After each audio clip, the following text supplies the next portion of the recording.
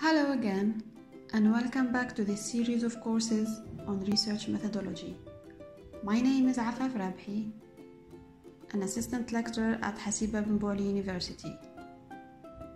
And in today's course, we're going to learn all about the basics of data in social sciences research.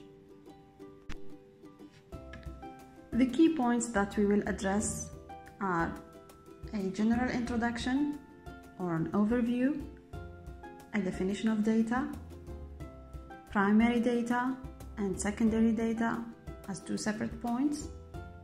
Then we will move to introducing on more details interviews, questionnaires, observation before we draw on a conclusion. The specific objectives that students should achieve by the end of this course are to understand the meaning and the significance of data in social sciences studies, to label the sources of data based on their type, to identify what counts as data, to list the most common data collection tools, and to develop an idea about the post data collection stage or what we call what happens next. Many would assume that after deciding on the topic of the research, refining the research questions, and setting clearly the objectives of the study, researchers would wonder about the methodology they're going to use. Well, this is not the case because what actually happens is researchers asking, What do I need to know and why? instead of the how. As you can see in this mind map, research data is the fourth step in the process of conducting research, which means although thinking about data starts in the earlier stages, collecting data and going to the field does not start until after writing the literature review. You should know that not all data sources are the same. There are two conventional types of data what we call primary data and secondary data. As to how researchers decide on which type they collect, it depends on a variety of factors, such as research questions and objectives. The name primary data comes from the fact that the researcher is the one collecting or generating the data, which means he or she is the main tool for data collection tool, or which is why in the research methodology we say the researcher is the means for data collection. Secondary data, on the other hand, stands for all types of data that have been collected before perhaps for other studies or other research projects. They are pre existing data at the disposal of the researcher, who can in turn use it to answer his or her research questions. Although valuable, research data are often underused. Examples of these are newspapers, diaries, biographies, and so on and so forth.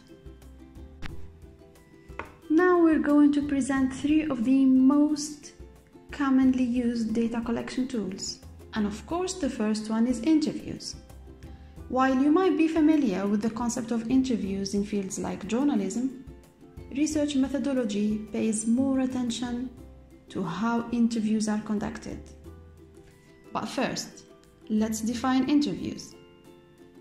An interview is a question based conversation during which the person asking questions, also known the interviewer, takes the lead by asking explicit questions and expecting explicit answers by the interviewee.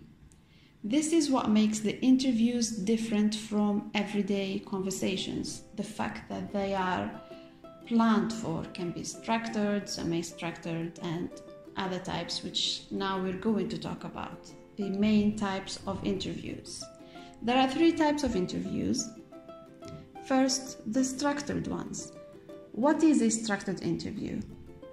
To answer this question, we should look at the interview as a set of pre designed questions, which means the interviewer knows what to look for. They know exactly what they want to find out. In a structured interview, questions are asked in the same order, and the interviewer is advised to stay on script or to stick to the script they preferred before. Unstructured interviews, on the other hand, unfold like an informal day to day conversation.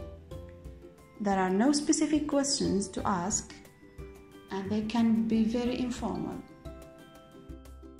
Coming back to the semi structured interviews, they are the middle ground before the between sorry, the structured and unstructured. The interviewer, in this case, would prepare an interview guide with general themes to consider when asking questions. He or she can have a predefined set of questions and still be ready to follow up on the answers of the interviewee and ask further questions if and when. Next on the list of the most common data collection tools are questionnaires. Unlike interviews, questionnaires can be administered and filled without the presence of the researcher. They are mostly used with large samples of populations or large populations Questionnaires are cheap, convenient, and easy to complete and can be administered online. According to scholars, there are several types of questions researchers need to consider before designing their questionnaires. And as you can see here in the image, the format too can be different. The last tool in today's seminar is observation which is a scientific process to collect evidence through looking systematically and noting people, event, behaviors, and so on. Like interviews, observations range from a structured to a less structured form, such as participant observation. The main advantage of using observation is gathering first hand evidence as the picture shows, there are two types of observation participant observation, in which the researcher takes part in the study or event, and non participant observation. Well, that's it for today's course. Thank you for tuning in